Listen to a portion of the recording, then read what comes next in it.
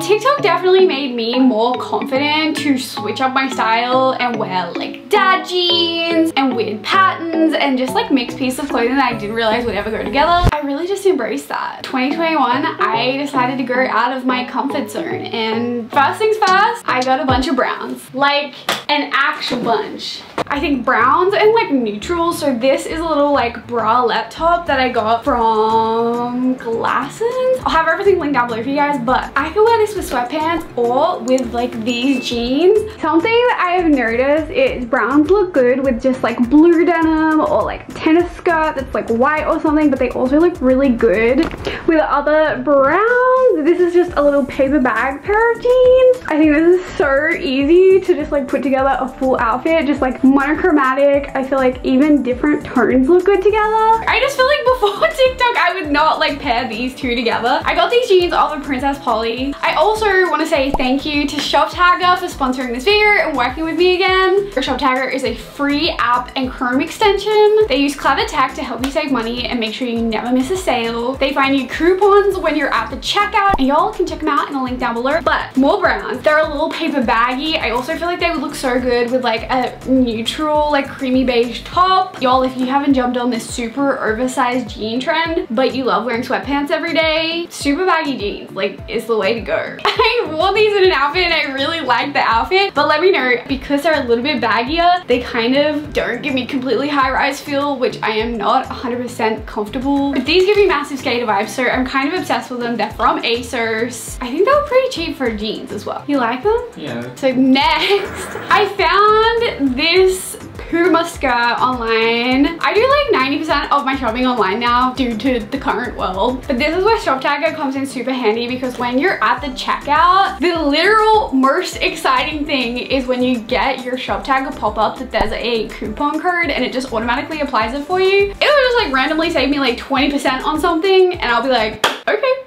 I didn't do anything, but like, thank you. I have saved so much money using Shoptagr. I literally bought three bottles of face wash the other week and I saved 50%. I'll have Shoptagr linked down below for you guys so you guys can be helped out at the checkout. It's super easy to install on your browser and it's free. Once you download the browser extension, you can click the Shoptagr button whenever you see an item that you want to save. My favorite part is when an item that you like goes in sale or comes back in stock. Shoptagr gives you an email or a push notification letting you know. They also have this feature where you can make lists when you save your items. It kind of helps you shop just more mindfully. I had a list for brown items and then my monochromatic outfits. It helps you avoid impulse buying. Shoptagr uses this clever tech to scan the internet and find coupon codes on my computer and also just launched their cashback feature via PayPal with selected retail partners. If you want to save as much as possible when you're shopping online, then click the link down below to download Shoptagr. It's available on your computer and your mobile devices. So because this is a Puma skirt, this very well could be a tennis skirt and I honestly wouldn't know. But I love that it's not pleated. It's just like a flowy skirt. The Puma is like not too intense. And honestly, I don't know why these skater skirts that go out at the waist stop being trendy because it's literally the most flattering shape I've ever seen. Plus it's brown, so it's trendy. This next one, they had like a bunch of Instagram girls wearing this top. It's from Verge Girl and it looks really cute on, just not on camera. Like I swear it looks cute. I don't know why. It just looks so much less cute in the shots that I filmed for this video.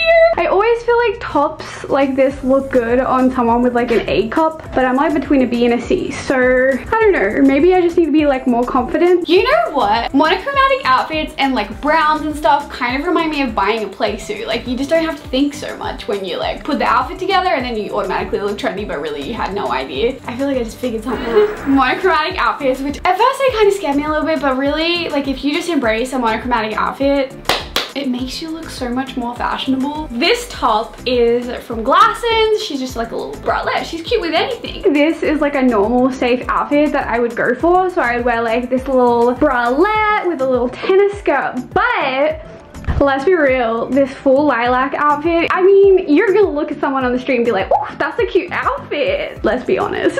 it looks so much better than the white tennis skirt. Don't lie. Vote below the white tennis skirt or the monochrome outfit. Let me know. I feel like this outfit, I peaked. Um, I'm probably gonna buy it in other colors. I found these jeans. These were from Verge Girl. They're probably one of the cooler pieces of clothing that I'm ever gonna own in my whole life. I instantly thought these need to be in another monochrome outfit. There's definitely some do's and don'ts. Um, like this is a don't. So I feel like, for instance, this top is just like way too much for these pants. I feel like it'll look better if I had some like like this, which I still feel a little bit uncomfortable about, but it's cute. Maybe something like more like a boob tube. Even that outfit was like a little bit too much for me. These with something super basic, like this like halter neck little crop top. They're such like similar tones and I feel like this top is so basic. It's not doing too much, but I feel like something like this where it's a small top, the color isn't too intense, it works out. okay, here we go. I bought a vest. This trend is something that scares me, but when I put it in this outfit, see you later to the rest. I'm getting like off to law school vibes. Where's my coffee and my books? For the record, I make a scenario for every single outfit that I put together. This is law school vibes. I don't know why. I'm about to show you this other kind of vesty thing, but I just feel like this is like not even the same in any capacity. But this one gives me all the Pinterest girl vibes. That like academia vibe. Sometimes when I use fashion lingo, I get a little bit scared that I'm like not using it correctly, but like you guys know what I mean. I'm yet to try wear a vest with like one of those long sleeve shirts or something. You know the ones, you know the Pinterest boards, you know the Pinterest outfits. If you guys know where to get a long sleeve shirt like that that doesn't look like I stole it out of like my dad's wardrobe, let me know. Next, Y2K aesthetic. For ages I didn't know what Y2K was. Year 2000, y'all. I mean, this is a trend that I'm like aware of, but I'm not the kind of person that would ever commit to this trend completely because it's just not the aesthetic that I'm going for. I love like those kind of like older, like 2000 style tops that like Paris Hilton would wear with just like regular denim jeans. I think they look super cute, especially if you match like your accessories to it. I don't want to say I researched the Y2K aesthetic, but I kind of did. And when I did that, I ended up getting obsessed with Britney Spears and her whole life story. Fun fact. I was in the car and Sarah talked about Britney Spears for the whole entire 20 minute car trip. I literally told him Britney Spears' whole life story. It's actually sad though. I watched like videos on this channel called Deep Dive and it was so interesting. You guys should go watch it. what the fuck? I really tried, but it's just not. It's not. this definitely look like something that my mom bought for me when I was like six or seven years old and it's kind of cute. It's just from ASOS. It was pretty inexpensive. It's, oh, it's by Skinny Dip. I thought they made phone cases. Obviously the Y2K aesthetic um, deserves a little more commitment from me. I feel like this would give not too crazy Y2K vibes where you feel like you're trapped in the year 2000 if you just added like cute little like purple hair clips or even like purple butterfly clips if you were confident enough to do so but you could still wear just like regular denim jeans. I actually have butterfly clips somewhere and I've tried to look for them but I can't find them sorry. the little tie up shoulders, they're such a vibe. I feel like there's nothing new about this this style of top, but ever since these came out, these reminded me of like Paris Hilton vibes. When everyone used to have those, those flip up Motorola phones. Oh my God. I definitely feel like my younger self had something that looked like this. I didn't have to wear a bra. That's my favorite part. I'm so obsessed with crochet right now. My mom sent me a bunch of pictures of me as a kid. I think I have to blur it out because I think I might be naked in this picture. But she was wearing this like crochet pink top and it was just a vibe. So me trying to be my mom 15 or 20 years ago. I'm actually wearing this top wrong. It's meant to like cross over in the front, but I just like it like this. But I'm obsessed with this. I used to watch this movie about surfing when I was a kid and I feel like everyone used to wear tops like this in the movie. I think they were in like Hawaii or something like that. I don't know. I could do like a little monochrome outfit with the brown jeans. I feel like these tops are like a little bit statement because the patterns are kind of crazy. This is by Topshop but I got it on ASOS. I found this on Princess Polly. It's a Guns N' Roses top. Um, do I listen to Guns N' Roses for the sake of not getting roasted? I definitely do.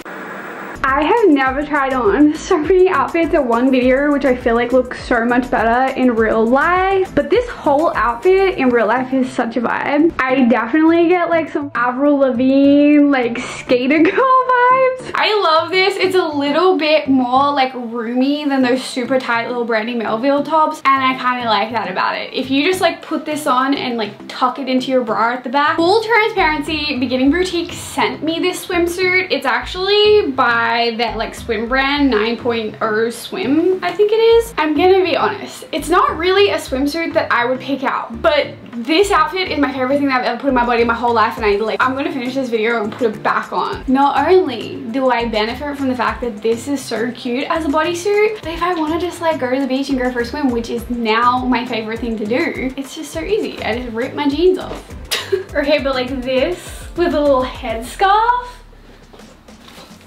it makes it better. You can't lie. Anyway, speaking of accessories, TikTok taught me that if your outfit is boring, just like throw on some accessories. It'll be way cuter. And that's probably the difference between what you're currently wearing and like the Pinterest picture. I didn't realize until like last year. Little bags, especially bags that have a little bit more space in it. Like I have this tiny little bag that like barely even fit my phone in it and nothing else. Headscarves. I'm going through a headscarf phase right now. I have a very small collection, but like it's, it's growing. Honestly, a super, super affordable accessory. You can buy these on Amazon for super cheap. Headbands, like just these. When did this happen? These are like so cheap to buy. It doesn't have to be a neon green headband, but this is like one trend. It surprised me. I did not think that I would like the way this looks, but like it's kind of cute. I'll see if you can buy like a colorful pack and if so, I'll link it down below. And beanies. I feel like beanies aren't for everyone and I wear beanies like all year round. It really just triggers everyone. They're like, it's not the season. I'm like, yeah, but it looks cool, so. This one is from Topshop. I got it on ASOS. I feel like I need to cut a thread or something because it won't fold down anymore. It looks hella awkward. Fun pants is the next thing that I'm very excited about. By fun pants, I basically mean anything that isn't just like a block color or like basic denim. A little statement piece that you can add like a basic top with. It's like, oh, that's cool. I felt like these were a little bit of fun though. They also just are so baggy that they're really comfortable and they're kind of this like airy, breathy material, which is my favorite thing because it's kind of diverse. You can wear it in the summertime because it's so breathable, but at the same time, baggy enough enough that you could put like leggings underneath it if it's the winter. So like little universal moment. I feel like a skirt can kind of go in fun pants category. I found this skirt on Glassons and it's like this checkerboard print, which it's also like a tight bodycon skirt, which is a little bit out of my comfort zone, I'm gonna say. I feel like this outfit is the perfect example of how if you don't accessorize your outfit, it can be a completely different vibe because I feel like if I didn't have the headscarf on and just like some fun little sneakers, I feel like this outfit would look more like clubbing attire or like something you'd wear to a party or something. But I feel like this just makes it look like so much more casual, nearly like picnic.